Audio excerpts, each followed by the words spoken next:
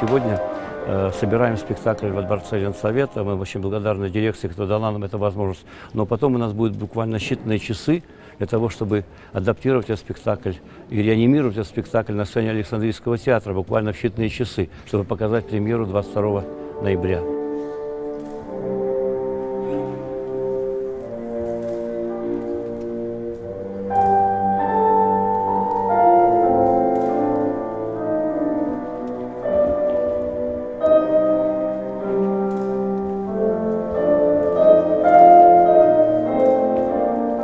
Роден очень близок к хореографии, потому что Роден тоже работал с телом человеческим. Роден, так сказать, пытался открыть какие-то новые тайны человеческого тела, пытаясь зафиксировать это прекрасное мгновение.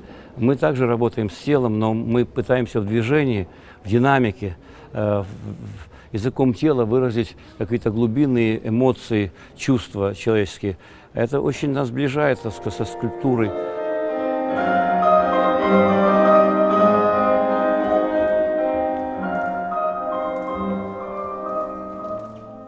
Хореография, она, наверное, все-таки, я думаю, что отличается от, э, от Онегина, даже то же самое, от Треплева. Именно с какой-то с французской изюминкой. Сначала мне казалось она немного грубоватая. И я не считаю, что это плохо, просто показать тоже действительно его уже возраст, уже 40-летний, действительно великий уже скульптор. И, но она со временем все менялось, видоизменялось, становилась более как-то пластичной, утончалась. И, и мне кажется, это будет интересно русскому человеку посмотреть эту французскую историю любви. Судьба Родена и Камилы Кладель это известная судьба двух художников, которые были поглощены страстью, которые соз... страсть которых создала шедевры, знаменитые шедевры «Поцелуй», «Вечный идол», «Вечная весна» и так далее, и так далее. Но, с другой стороны, они были, так сказать, художниками, поэтому они безумно ревновали друг друга, как художники. И эта ревность и страсть в конечном итоге, в общем-то, изгубила их. Мне нравится эта партия, потому что она очень для меня интересна все время меняется, эмоции, эмоциональность постоянно меняется. Мне было очень обидно, что такой человек провел 30 лет в сумасшедшем доме, что у нее так трагично сложилась ее судьба.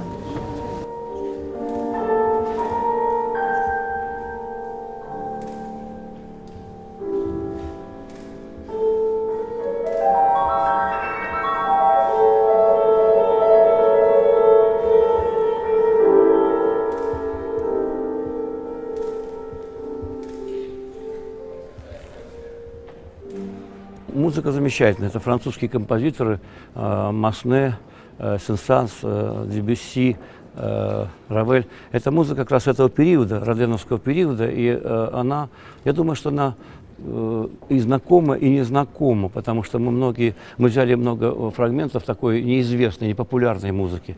И, с другой стороны, она очень театральна, передает дух времени, э, такую какую-то, знаете, атмосферу времени, и передает также вот так сказать, вот ту атмосферу э, творческих мук, которые переживали мои герои. Поэтому я очень рад выбору музыки, и она очень помогает именно создать именно атмосферу этого спектакля.